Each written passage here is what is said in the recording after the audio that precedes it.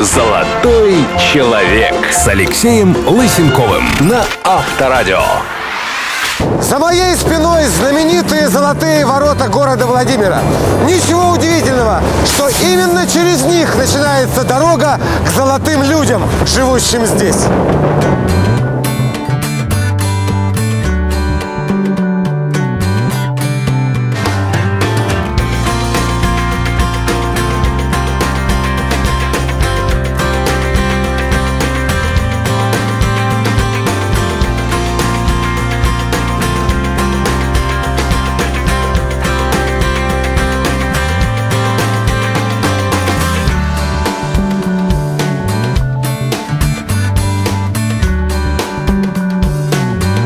Отсюда, с площади железнодорожного вокзала, начинает свой рабочий день наша героиня, Ираида Ивановна.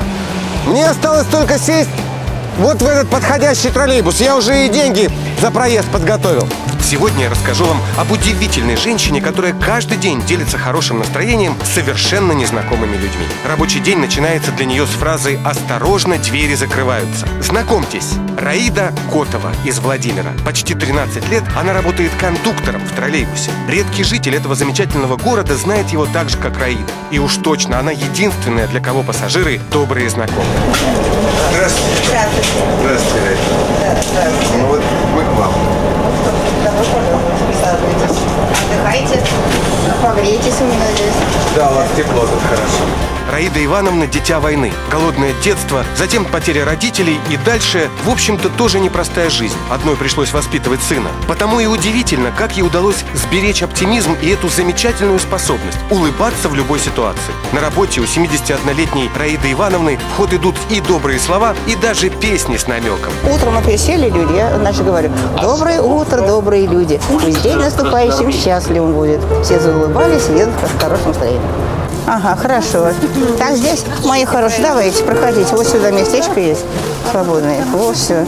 У вас билетик я видела. Ага. Так, здесь у нас два. Так, держите, пожалуйста. О, лапунечка.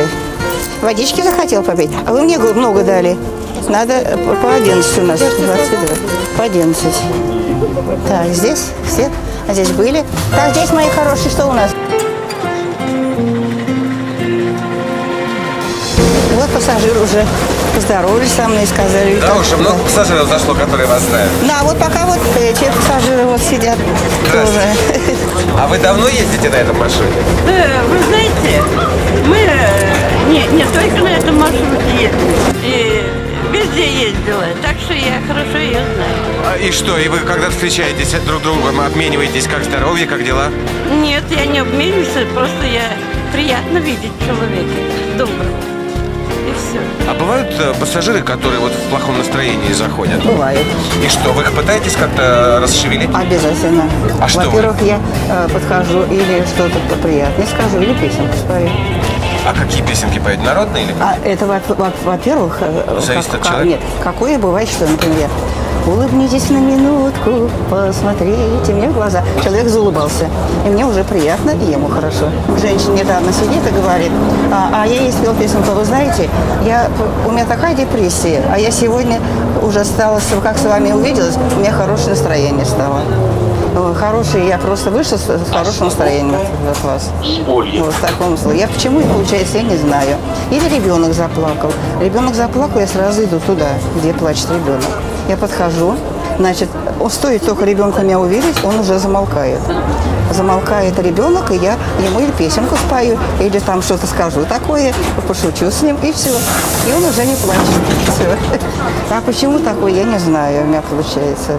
Нечаянно само Нечаянно, происходит, да? само по себе. И это, друзья, не пустые слова. Лично в этом убедился. С Раидой Ивановной я провел на маршруте добрые два часа. Таким нечаянным встречам постоянные пассажиры рады всегда. Тем более, что Раида Ивановна при случае и советом поделится, и дорогу подскажет, и даже денег добавит на проезд.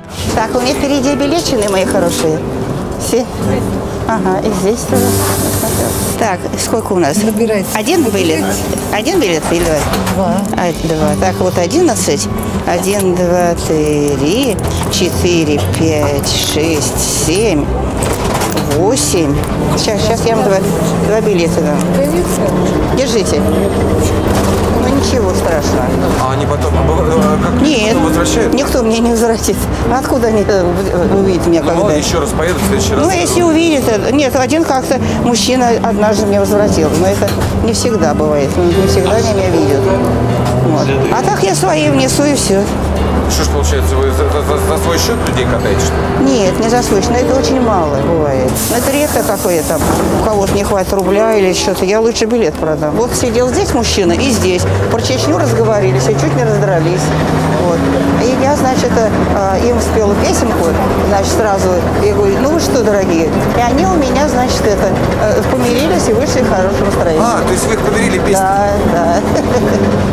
Поначалу руководство троллейбусного парка душевного порыва своей сотрудницы не понимало. Ей пытались навязать работу по шаблону. Взяла деньги, отдала билет, разобралась с зайцами. И так по кругу. Но ничего не вышло. И начальству пришлось закрыть глаза. В конце концов, жалоб на Раиду Ивановну не бывает. План она выполняет, работает по 12 часов. А текучка кадров и без того высокая. Тут, знаете, не до увольнений. Вот и работает Раида Ивановна то на одном маршруте, то на другом, но пассажиры, хоть и меняются, всегда ее помнят. Некоторые из них, мне кажется, столько ласковых слов за день не слышат, сколько от нее за одну поездку. Вот елки-палки, в детстве хотел стать летчиком, космонавтом, моряком, а надо было становиться кондуктором. Сейчас бы мечта воплотилась в жизнь. Представляете, как здорово? Целый день на свежем воздухе и с людьми. В троллейбусе наша героиня проводит по полдня. Такая смена. Работает практически без выходных. Особенно зимой, когда на даче нечего делать. Лишь несколько лет назад Раиде Ивановне пришлось взять больничный из-за ангины. Все остальные дни она начинает в 4 утра. Обязательно делает зарядку, отжимается. К своему удивлению, я узнал, что Котова спортсмен. Стоит на голове, участвует в лыжных соревнованиях, катается на коньках и даже, друзья, маршует. Да-да, Раида Ивановна активно закаливается. Сейчас вот еще холодно, а наша героиня уже плавает в клязьме, разгребая руками на своем пути льдинки навстречу железному здоровью. Когда-то она и сына приучила к спорту. Ради него начала бегать кроссы на дальние расстояния. С тех пор никогда не отказывается ни от пеших прогулок, ни от пробежек. Мы с сыном занимались. Он у меня, он у меня спортсмен. И мы, значит, когда первый раз стали бегать, бегом заниматься, «Ой, я еле бегу, сынули, я уже не могу. Он, беги, беги, мама, беги, беги. Сейчас будет второе дыхание. Неправда. Потом второе дыхание открылось, бежишь уже не знаю сколько. Так и на лыжах. На лыжах только так. С коллегами у Раиды Ивановны полное взаимопонимание. Водители ее любят и уважают. Например, Ольга, наш сегодняшний водитель. Очень хороший человек, безотказный. Человек, который любит животных очень. Она всех животных кормит у нас. Я так понимаю, что и пассажиры очень многие знают. Пассажиры, да, она ни с кем в конфликты не вступает. Человек такой, что находит общий язык с людьми. То есть не грубит никогда, никаких нареканий на нее нет. Работает хорошо, безотказная. Нужно выйти в выходной, выйдет. Вот я заметил, люди, когда заходят, то некоторые, видимо, те, кто ее знает, они как только заходят, ее видят, сразу начинают улыбаться. Почему так? Ну, потому что она такой человек, что вот, допустим, праздники какие-то, она как оптимист, она нарядится в наряды. Вот Новый год она Снегурочкой у нас ходит. Там, допустим, 23 февраля она морскую форму одевает. И, в общем-то, человек вот не падает духа, молодец в ее годы, Можно про нее сказать, что она золотой человек? золотой. Мы такими, наверное, не будем. Это редкие люди вообще. То есть плохого даже о ней ничего нельзя сказать. Очень хорошая женщина.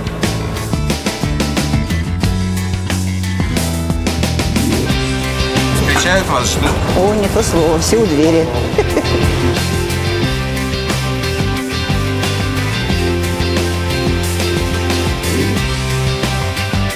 Она очень вежливая, это раз. Во-вторых, внимательная, всегда посадит, если ты с сумками, даже если не очень пожилой человек, молодежь подскажет. Ну, очень приятная женщина. Как там рыбалочка? Я все не очень. Не очень, да? Рыбка спряталась. Ну, какая ты хорошая. До свидания, лапочка. До свидания, пока. Вам что, выходить будете? Так, Оленька, подожди. Сейчас, сейчас, сейчас, не спешите. Не спешите. Все, давайте. Спасибо. Ага. Все, Оленечка, все.